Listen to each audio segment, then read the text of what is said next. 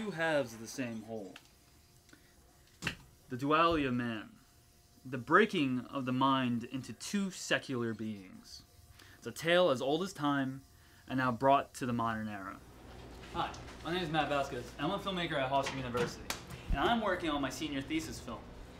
I aspire to tell stories that will make you laugh so hard that you'll cry, and also make you cry so hard that you'll laugh again, which is exactly how I feel every time I look at my bank account.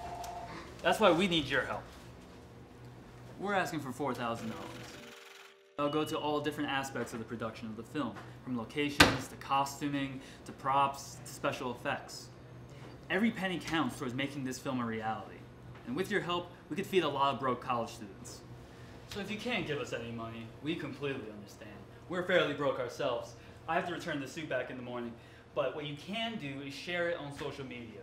Share it with anybody you can. Share it with your grandmama. She's the best, right? What about your cousin in Houston? You, we know he's got money. Share it with him before he could give it to a better cause. Uh, Really bad. sorry, my producers. Uh, please help. Anyway, Sweet Dreams is a dark satirical comedy about race in America. It follows an African American male stuck in today's society, battling his inner demons. He has to make a choice whether to become the stereotype or defy expectations and take the moral high ground.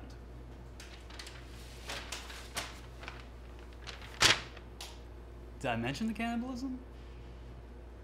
Well, thank you guys so much for your time. And we hope that with your help, we can make your sweetest dreams come true. Merry Christmas, Happy Hanukkah, and Shalom. I'm still Matt Vasquez. Have a great night, y'all. Hey everybody, Pete?